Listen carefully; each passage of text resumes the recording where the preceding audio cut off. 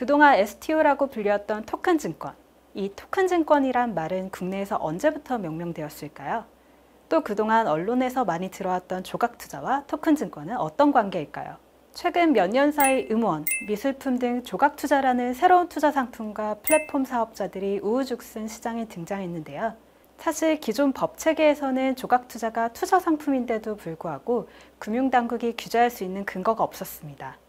즉, 조각 투자가 증권인지 아닌지에 대한 정의가 없었기 때문인데요. 이런 상황에서 작년 초 뮤직카우의 음원 저작료가 처음 시장에서 증권성으로 판정을 받은 이후 한우, 미술품 조각 투자도 증권으로 판정받았습니다. 이런 상황에서 나온 것이 바로 토큰 증권 발행 유통 정비 방안입니다.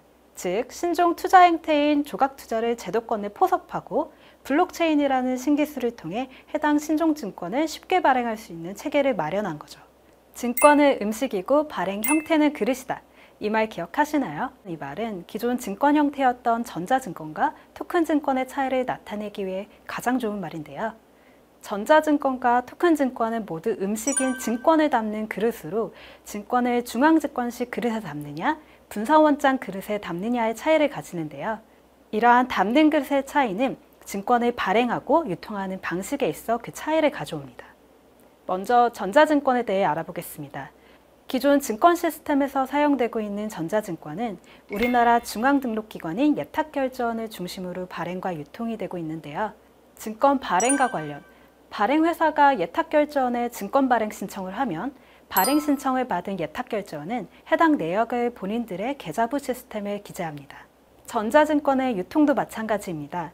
투자자가 증권사를 통해 유통시장에 증권 거래를 요청하면 유통시장에 해당 거래를 체결한 후 예탁결제원의 유통 내역 기재를 요청합니다. 즉, 전자증권의 발행과 유통 모두 예탁결제원을 통해 이루어지는 구조인데요. 이러한 구조는 우리나라 전자증권법상 증권이 중앙등록기관인 예탁결제원을 통해서만 등록이 가능하고 그 법적인 효력이 인정되기 때문입니다. 그렇다면 전자증권과 다른 토큰증권의 발행 및 유통 체계는 어떨까요? 올해 2월 금융위원회는 크게 세 가지 제도 개선을 통해 토큰 증권의 발행과 유통을 허용한다고 발표하였는데요. 우선 첫 번째, 토큰 증권을 전자증권법상 증권 발행 형태로 수용한다는 것입니다. 기존 전자증권은 중앙등록기관인 예탁결제원을 통해 기록된 것만 증권으로서 권리를 인정받았는데요. 즉, 거래 내역이 누구에게나 공개되는 분사원장 특성을 고려해서 증권의 발행, 유통 내역을 분사원장에 기재해도 증권으로 인정한다는 의미입니다. 즉, 정리하면 현행법상 중앙등록기관인 예탁결제원을 통해서만 증권의 발행 및 유통 내역 기재가 인정되었다면 향후에는 분사원장에서 발행하고 유통한 내역도 증권으로서 그 법적인 효력을 인정한다는 뜻입니다. 다만 아무 분사원장이라고 모두 법적인 거래 내역 장부로서 인정되는 것은 아닌데요. 기존 예탁결제원처럼 신뢰성 있는 기관이 관리하던 내역을 대체할 수 있을 정도로 분사원장의 안전성 확보를 위해 금융당국은 분사원장 인프라에 대한 요구사항을 제시하고 있습니다. 그 요건에는 권리자 정보 및 거래 정보가 시간 순서대로 기록되어 사후적인 조작 변경이 어려울 것, 분사원장이 기록된 권리자 정보, 거래 정보와 실제 거래 내역이 동일함을 계좌관리기관이 책임지는 것 등이 있습니다. 요건 중 특히 전자등록기관, 금융기관 또는 발행인과 특수관계인에 해당하지 않는 계좌관리기관이 다수 참여하여 분사원장을 확인할 수 있을 것이라는 내용은 분사원장을 구성하는 주요 참여자의 구성 요건을 정의한 것으로 현재 증권사를 중심으로 토큰 증권 생태계가 구성되고 있는 주요 요인 중 하나입니다. 그 외 분사원장 주요 요건에 대해서 확인해 보시기 바랍니다. 두 번째, 발행인 계좌관리기관 신설입니다. 이 부분은 누가 어떻게 토큰증권을 발행할 수 있느냐에 관한 것인데요. 토큰증권 발행 관련 요건을 갖춘 발행인 계좌관리기관은 금융사 라이센스가 없더라도 다른 증권사를 거치지 않고 직접 증권 발행이 가능하며 요건을 갖추지 못한 발행인은 증권사 등 기존 전통금융사인 계좌관리기관을 통해야만 발행이 가능합니다. 요건을 갖춘 발행인 계좌관리기관은 토큰 증권을 직접 발행하여 해당 발행 내역을 직접 원장에 기재할 수 있게 됩니다. 즉, 조건에 맞는 사업자라면 증권사를 통하지 않고 직접 토큰 증권을 발행할 수 있게 된 것인데요. 다만 증권사 등 신뢰성 있는 금융회사를 거치지 않고 직접 증권을 발행할 수 있게 된 만큼 사업자 측면의 신뢰성, 전문성, 안전성 등을 고려한 별도 사업자 요건 충족이 필요합니다. 즉, 토큰 증권을 증권사 없이 발행할 수 있는 사업자들은 증권사 수준만큼은 아니더라도 분상환장에 대한 인프라 요건, 자기자본 충족 요건, 법조인 증권사무 전문 인력 요건 등을 모두 충족하여야만 합니다.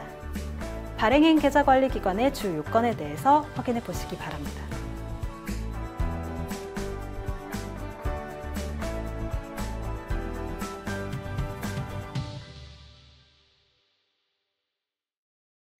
한편 발행인 계좌관리기관 라이센스 취득에 부담을 느끼는 발행 사업자들도 토큰 증권 발행이 가능한데요. 바로 증권사 등의 토큰 증권 발행에 대한 대행을 요청하는 것입니다. 이는 좋은 자산을 가지고 증권을 발행하고자 하는 수요는 있지만 증권을 직접 발행할 수 있는 요건을 갖추기 어려워하는 기업들을 위한 것입니다. 세 번째, 장외거래 중개업 신설입니다. 이는 토큰 증권을 어디서 거래할 수 있느냐에 관한 부분인데요. 토큰 증권의 거래는 기존 상장 시장인 한국거래소와 이번에 신설될 장외거래 플랫폼을 통해서 가능하게 될 예정입니다. 소액 투자라는 조각 투자 특성을 고려하면 거래 물량은 매우 적을 것으로 예상되는데요. 이는 대규모 거래량을 전제하는 한국거래소에 적합하지 않습니다. 즉, 토큰 증권은 거래 물량은 낮지만 투자자들 간 유통에 대한 수요는 충족시킬 수 있는 장외 거래 플랫폼에 더 적합한 증권인 거죠. 정리하면 장외거래 중개업을 신설함으로써 조각 투자에 적합한 증권인 투자계약 증권이나 비금전 신탁수익 증권을 소규모로 유통할 수 있는 장외거래 시장을 형성하도록 한 것입니다. 다만 해당 토큰 증권의 거래량이 많아질 경우 분사원장의 기술적 한계 등을 고려 기존 상장시장의 한국거래소를 통해 거래가 필요합니다. 마지막으로 금융당국이 가장 강조하고 있는 발행과 유통의 겸용 불가 원칙입니다. 금융당국은 토큰 증권의 발행 사업자와 유통 사업자를 분리함으로써 이해상충 리스크를 방지하고자 하는데요. 예를 들어 발행 플랫폼 사업자가 유통 플랫폼 사업까지 동시 영위할 경우 직접 발행한 토큰 증권의 거래 가격을 임의로 낮추거나 높일 가능성을 원천 차단한다는 거죠. 이에 따라 그간 발행과 유통을 겸하던 미술품 등의 조각 투자 플랫폼들은 유통 사업이 잠정 중단된 상태입니다.